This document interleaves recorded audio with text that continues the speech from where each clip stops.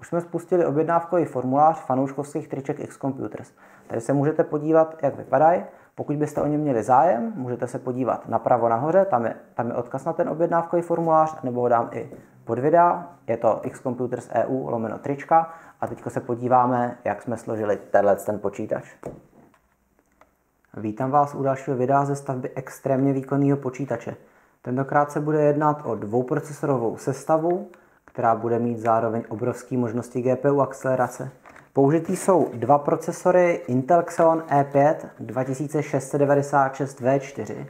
To jsou fyzicky 22 jádrový procesory, neboli dohromady je to 44 fyzických jader, neboli 88 výpočetních vláken.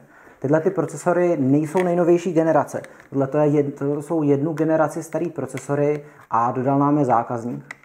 Při dnešní stavbě uvidíte osazení dvou grafických karet. Jedná se o dvě GeForce GTX 1080 Ti, což jsou prakticky dvě nejvýkonnější grafické karty na světě. Ano, trošičku tam zanedbávám Titana XP. Titan XP je pravda zhruba o 7% výkonnější, nicméně je téměř dvakrát tak drahý, neboli z pohledu cena výkon pro tenhle ten grafický rendering jsou mnohem lepší GTX 1080 Ti. Navíc zákazník požadoval, aby bylo možné tuhle tu sestavu rozšířit až na čtyři grafické karty, takže základní deska, ke které se dostaneme nakonec, eh, umožňuje osadit až čtyři grafické karty. A protože čtyři grafické karty a dva procesory k tomu mají velmi velký energetický nároky, tak je použitý i zcela extrémní 1600W zdroj. Pro jistotu zase řeknu, 1600W zdroj neznamená, že spotřeba počítače bude neustále 1600W. 16 W zdroj znamená, že tenhle ten zdroj je schopný komponentám dodat až 16 W. Ochlazení každého toho procesoru se bude starat uzavřený bezúdržbový vodní chladič, na kterým bude osazený nejlepší ventilátor Noctua. Jinak tato sestava bude mít 128 GB operační paměti, jedná se o dohromady 4 moduly 32 GB, jedná se o registrované paměti s podporou ECC, neboli tohle je vysloveně serverový hardware, který v normálních počítačích nenajdete. V normálních počítačích jsou maximální DDR4 paměti na 16 GB, tohle je 32 GB DDR4 modul s tím, že registrovaný paměti se vyrábí 64 GB a větší nějaký load reduced eh, paměti jsou i 128 GB. Jinak tady máme 500 GB NVMe SSD na operační systém. To je taky trošičku zajímavý na této základní desce, protože v předchozí generaci M2 slot na základní desce serverový byl naprosto výjimečný, to je jedna z mála. A potom na ukládání dat máme 8 TB pevný disk. Teď se pustíme na osazování základní desky těma procesorama a paměťma. Kdyby vás zajímalo samotné představení té základní desky trošku víc do podrobností, tak se můžete podívat napravo nahoře, tam udělám video přímo z unboxingu a jinak v tomhle tom videu bude to osazení pa- procesoru, pamětí nebo SSDčka. Jdeme na to. Nejdřív osadíme oba naše procesory, udělám pěkně jeden po druhém. Takže je to klasický socket 2011, pomlčka 3, neboli dvě páčky, obě potřeba otevřít. Jo, ještě nevím, jestli jsme identifikovali šipičku. Šipička je tady. Tady je šipička taky, takže všechno je to dobrý. Už takhle jsou tady dvě šipičky u šipičky. Tady máme procesor.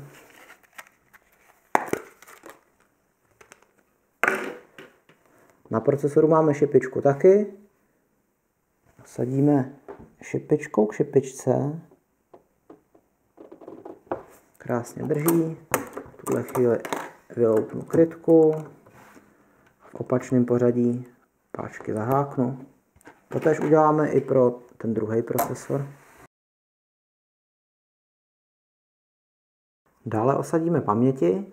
Jedná se o čtyři 32 GB paměťové moduly. Tahle ta základní deska v případě osazování čtyř paměťových modulů při dvou procesorech využívá tyhle dva sloty a tyhle dva sloty, takže do nich ty paměti osadíme.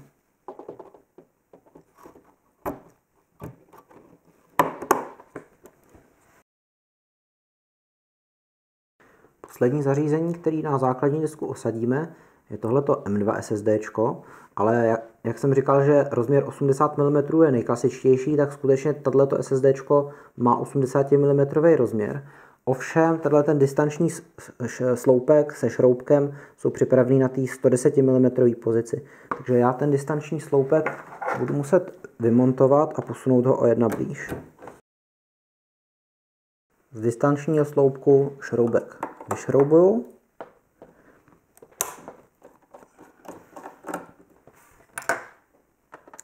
M2 SSD sadím. Takže do M2 konektoru zasunout. Vrátím šroubek. Připevním. Poslední věc, kterou uděláme je, že osadíme distanční sloupky pro montáž vodního chladiče, takže tyhle ty distanční sloupky, které jsou dodávané s vodním chladičem, do všech čtyř rohů obou dvou soketů na montu. Základní desku máme připravenou, teď si pro její osazení připravíme celou počítačovou skříň. Budeme používat počítačovou skříň Fractal Define XLR2, já bych řekl, že tak ve třetině všech videí, co dělám, používám tuhle tu počítačovou skříň, takže dneska se na to vrhnu opravdu rychle, nebudu to moc komentovat, hodně toho bude zrychleného a až potom, až se vrátíme k nějakým zajímavějším věcem, osazování zdroje, ten je zajímavý, základní ta je zajímavá, dva chladiče, to je zajímavý, tak tam trošku zpomalím. Jako první očistíme počítačovou skříň od věcí, co tam nechci, takže jsou nám obě dvě bočnice a osadíme pevný disk.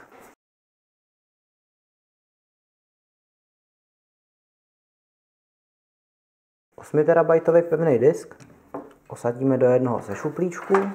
Šuplíček má v sobě antivibrační podložky. Osadíme pevný disk těma SATA konektorama dozadu skříně a přišroubujeme pomocí takových netradičních šroubků s velkou placatou hlavičkou, které byly dodaný jako příslušenství skříně. Takovýhle velká placatá hlavička. Už jsem jednou montoval ale zase mě to zaskočilo. No, no, těch, těch, sta, těch standardizovaných rozměrů tam může být několik. Taky tenhle ten, tenhle ten šuplíček, no tam má těch, ten s tím počítá, ale předinstalovaný to má tam, kde to bývá nejčastěji. Ty menší pevné disky, třeba do 4 terabajtových disků, ty to mívají takhle, takhle blíž, to, co bylo původně osazený, ale a ty disky fakt fyzicky jsou jinak velký? Ne, oni jsou stejně velký, jenom tyhle ty montážní díry mají trošičku jinak posunutý. Asi, já nevím, kvůli nějaký vnitřní elektronice možná, nevím. Zacvaknu krytku zadních konektorů od základní desky audio konektorama dolů.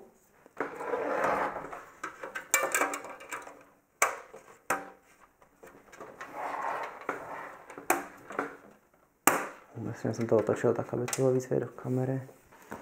Bude mít počítač, který má stejnou konfiguraci, jinou spotřebu s jiným zdrojem. Trošku jo.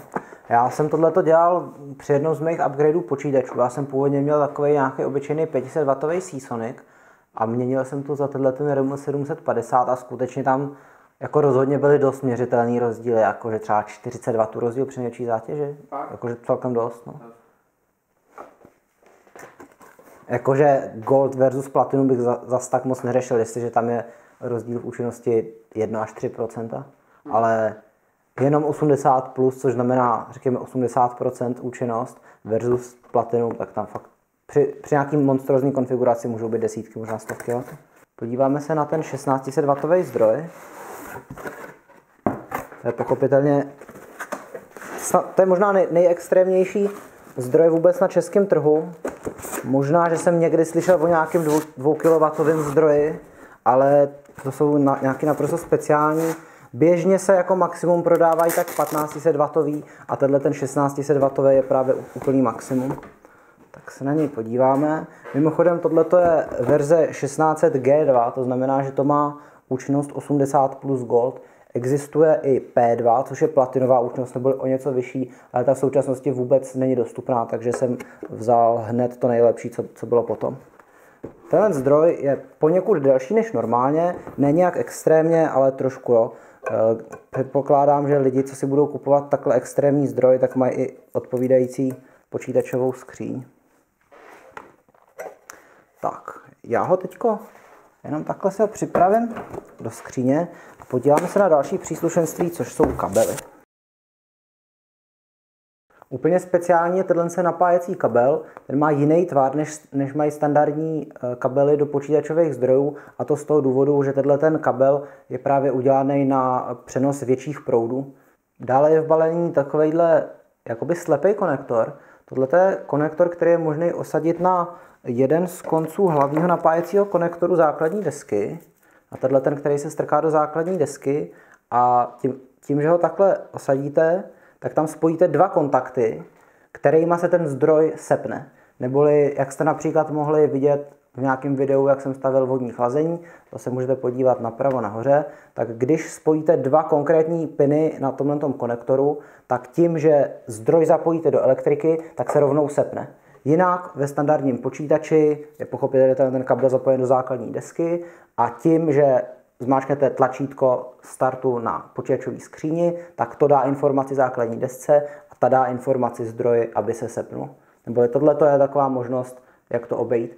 E, to tam dávají nejspíš z toho důvodu, že se asi uvažuje o tom, že tenhle ten zdroj bude využívaný na nějaký e, sestavy, kde bude extrémní množství grafických karet. Řekněme nějaký ty kryptoměny, majnování kryptoměn. To znamená, že je tam jedna z je tam jedna základní deska, z ní vede třeba 10 grafických karet, ale protože nejsou zdroje, které by třeba 10 grafických karet utáhly, tak tam jsou dva počítačové zdroje a jeden z nich, ten počítačový zdroj, je napojený na tohleto, neboli tím, že ho zapnete, tak rovnou jsou ty grafické karty napájené a o napájení druhé grafické karty se stará druhý zdroj, který funguje zcela standardně, neboli se zapíná přes tu základní desku.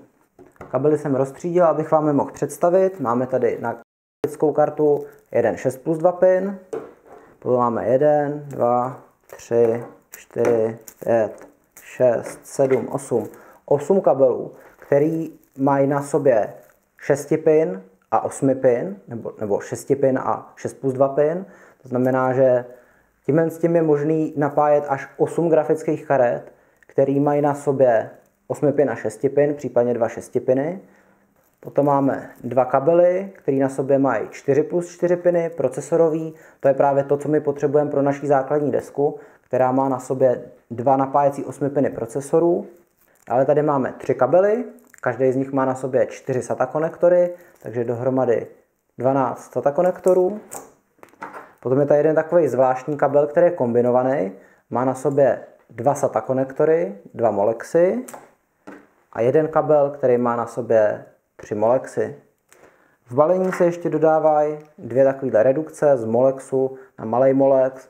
Můžete znát například ze starých disketových mechanik.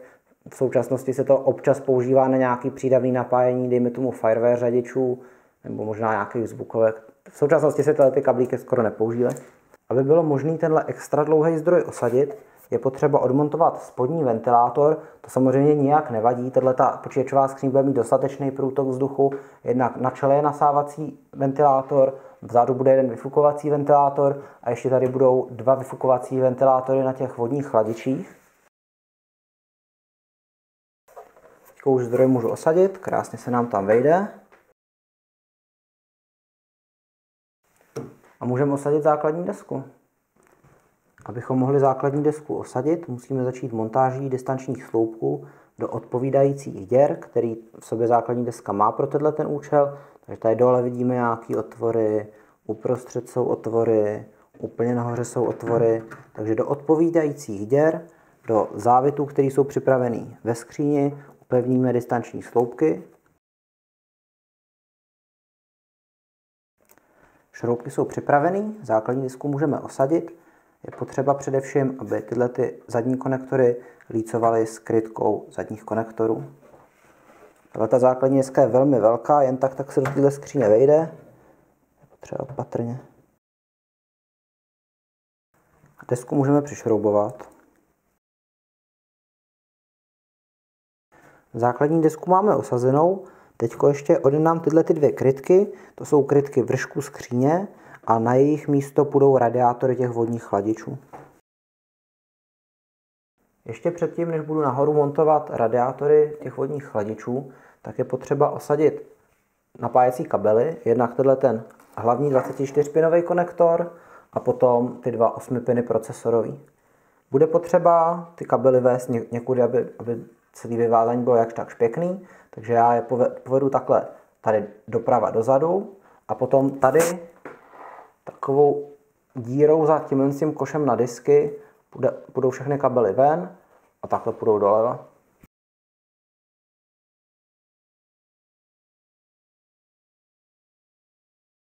Kabely jsou zapojený, teď přimontuju ty noktuácký ventilátory na Krakena X42. Radiátor Krakena X42 přimontuju do těch dvou horních děr a potom samotný základny přimontuju na ty procesory. Oba dva chladiče zapojíme stejným způsobem, neboli radiátor bude takhle nahoře, tyhle ty vstupní a výstupní hadice ty budou směrem k nám. Pumpa, ta má na sobě logo NZXT, teď to možná bude špatně vidět, jak není, není podsvícený, ale to samozřejmě umístíme tak, aby bylo normálně vodorovně čitelný, neboli nakonec to bude zhruba takhle osazený a ten noktuácký ventilátor, ten osadíme tím způsobem, aby měl svůj napájecí konektor eh, blízko zadku skříně a zároveň, aby ten ventilátor foukal ohřátý vzduch nahoru, neboli ho vyfukoval rovnou ze skříně ven. Takže ventilátor bude takhle otočený. Totež uděláme pro oba dva ty radiátory. Tak, takovýmhle způsobem ty ventilátory na ně přišroubujeme. Vezmu radiátor, přiložím ho do odpovídajících otvorů na vršku skříně. Přišroubu. Dále osadím základny těch vodních chladičů. Už máme předaplikovanou teplovodivou pastu. Takže na ty distanční sloupky, které jsme před chvílí osadili, nasadíme pomocí obřích matiček, přišroubujeme. A rovnou kabely svážu, bych tady měl trošičku větší pořádek. Ještě je potřeba do těch chladičů zapojit napájecí kabely, tak ty půjdou ze zadu a zapojují se takhle do té horní části. Dále zapojím kabely, to jako obvykle udělám zrychleně. Takže vám teď řeknu, co kam zapojím. Bude potřeba zapojit zvuk, USB 2, USB 3, diodu a spínače z čelního panelu. Takže audio je tady, tady je čelní panel, USB 3, USB 2. Dále bude potřeba zapojit datový SATA konektor z pevného disku do SATA konektorů a potom bude potřeba zapojit eh, hromadu těch napájecích kabelů. Jednak je tady ještě jeden 6 pin na základní desce, potom bude potřeba SATA napájení pro pevný disk, SATA napájení pro jeden chladič, SATA napájení pro druhý chladič. Bude potřeba zapojit Eh, zadní a přední ventilátor na integrovaný manuální regulátor otáček, který je na počítačové skříni. Zhruba ukážu, tady je možný ve třech polohách regulovat rychlost. Rychlost ventilátorů na těch vodních chladičích bude automaticky regulovaná základní deskou podle teploty procesorů. Ty ventilátory ty tedy zapojím do, do čtyř pinů pro, e, ventilátorových, které jsou přímo na základní desce, určený pro oba dva ty procesory. A nakonec, to už bude asi všecko a potom se uvidíme u zapojování grafických karet. Jdeme na ty kabely.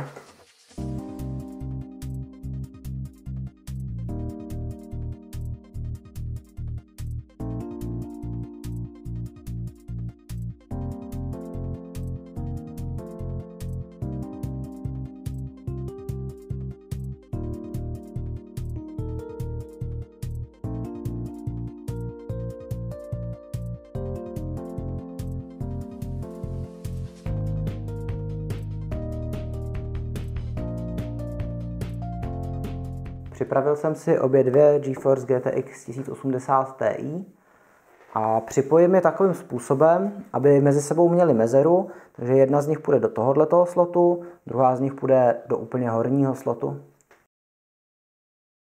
Odklopit, odklopit, osadit, osadit. Mimochodem, jak jste můžete všimnout, tak tudy se vešel ten audio kabel, takže já teď musím pohlídat, aby, aby se vešel do tohoto toho výřezku na grafické kartě. Možná kvůli tomu nejdřív osadím tu vrchní.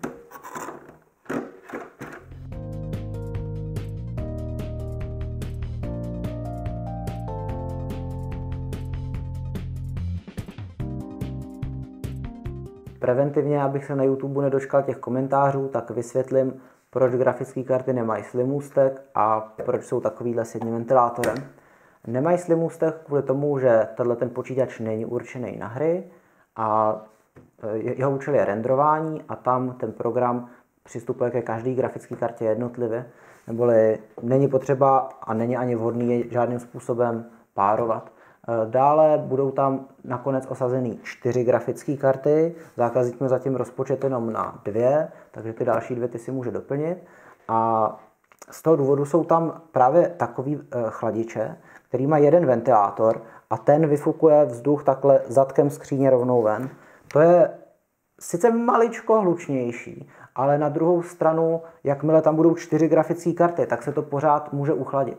Zatímco kdyby tam byly takový ty o něco tižší ventilátory, eh, o něco tižší chladiče, který sice jsou o něco účinnější, ale mají tu velkou nevýhodu, že jsou dost nevhodný při použití více grafických karet, protože oni tu, to teplo, který, který odvádí z grafické karty, foukají zpátky do skříně, neboli celý obsah skříně by se tím hrozně moc ohříval a o vyfukování toho ohřátého vzduchu by se staral jeden ventilátor a dále by to ohřívalo e, ty radiátory, které mají za úkol chladit procesory, neboli procesory by tím měly ještě vyšší teploty. Takže tohleto řešení, které tady máme, je určitě lepší. Samozřejmě, pokud byste chtěli, tak e, takovouhle konfiguraci která má dva procesory a zároveň umožňuje osadit čtyři grafické karty. Máme v nabídce v konfigurátoru i takovou, že je možný osadit vodním okruhem na míru. To je řešení, které je absolutně tichý a je super účinný a na to se můžete podívat v konfigurátoru napravo nahoře.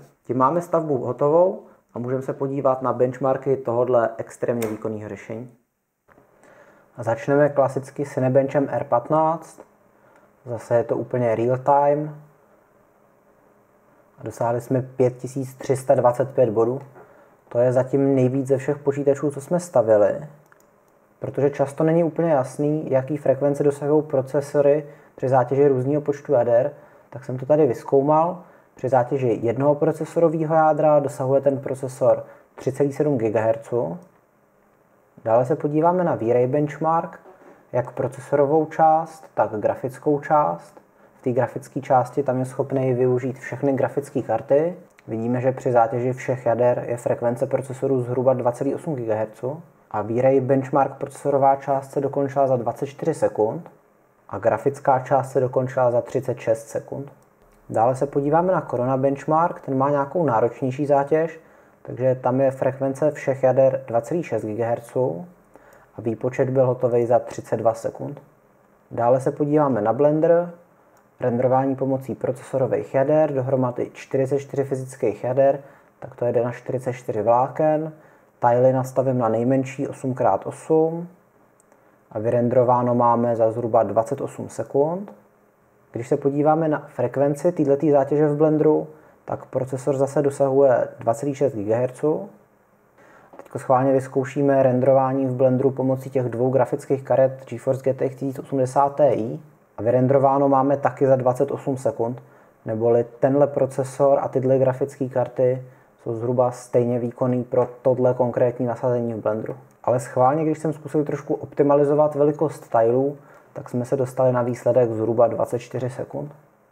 Pro zajímavost jsem udělal i test teplot při 100% zátěži pomocí Primeu nastaveného na AVX výpočty a maximální teploty a po zhruba 10-minutové zátěži jsme se dostali na teploty pod 60 stupňů, s tím, že tyhle ty procesory mají úplně bezproblémovou funkci při 100% výkonu až do 85 stupňů, takže díky tomu našemu použitému vodnímu chlazení naprosto nikdy nebudeme omezený tepelným výkonem.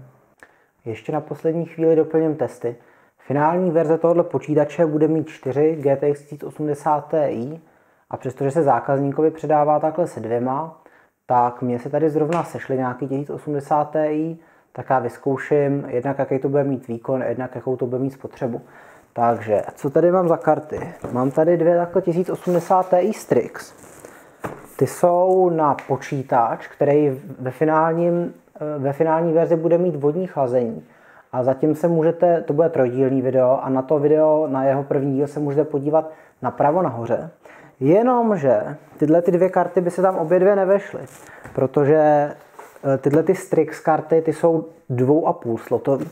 Takže bude možný jednu dát takhle dolů, protože tam je prostor, ale sem není možný dát, protože tam, tam je skutečně jenom dva sloty mezera. Takže já jednu Strix použiju dolů a tam doprostřed tady mám ještě jednu grafickou kartu, to je taky 1080 Ti, to je nějaká MSI Armor a ta bude zase v té sestavě, kde budou dva procesory Epic.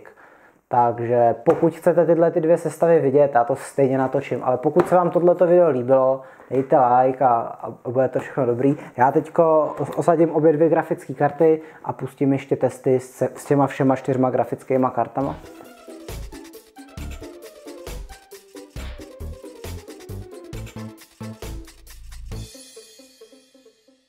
Všechny čtyři grafické karty jsou osazené, tyhle ty dvě, ty jsou tady skutečně jenom provizorně, kabely plandaj, karty ne, nejsou přišroubované, ale aspoň nám to umožní sestavu otestovat takhle v plný palbě se čtyřma GTX 1080 Ti.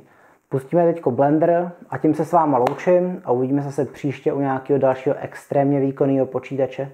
Nejspíš to bude buď počítač s vodním chlazením, anebo počítač s dvěma procesorama Epic, dohromady 48 fyzických jader, 96 výpočetních vláken. Tak čau. Počítač všechny čtyři grafické karty našel. Schválně se podíváme do NVIDIA Control Panelu, jak se to tam jeví. Ano, všechny čtyři grafické karty jsou vidět. V jedné z nich je zapojený monitor, v druhé z nich mám tu záznamovou kartu, ze které vidíte obraz. Schválně se podíváme na výkon v programech, kde by mohlo být znát nárůst výkonu díky renderování se všema čtyřma grafickými kartama. Podíváme se na V-Ray benchmark, na tu jeho grafickou část. Máme hotovo za 23 sekund, s tím, že původní výsledek s dvěma grafickými kartama byl 36 sekund, takže výkon narostl zhruba o 50%. Ještě se podíváme na Blender, zkontrolujeme, že tam jsou všechny 4 GTX 1080 Ti. Pustíme se do renderování s výchozím nastavením tilů. Máme hotovo zhruba za 17 sekund, to je přibližně dvoutřetinový nárůst výkonu proti původním dvěma grafickým kartám.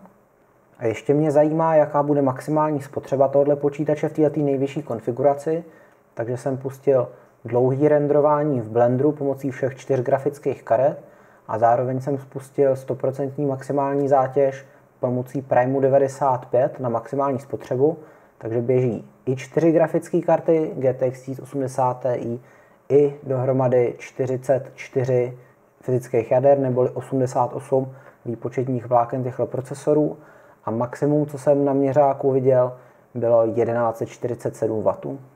Tohle je hodnota příkonu s tím, že použitý zdroj má výkon 1600 W, neboli tenhle ten zdroj by zvládnul napájet ještě tak dvě nebo tři grafické karty další. Ještě se můžete podívat, že je sice super, že Windows si dali do správce úloh graf zátěže grafických karet, ovšem nefunguje to úplně dokonale. Teď, když třeba renderuju na 100% na všech grafických kartách, tak jedna grafická karta ukazuje celkem zátěž, třeba okolo 30%, druhá grafická karta ukazuje nějakou zátěž a další dvě grafické karty ty, ty, ty Windowsy ani nevidí. Takže Microsoft ještě má na čem zapracovat, přestože tohle je lepší než nic. Tak, to je teď skutečně všechno a uvidíme se příště.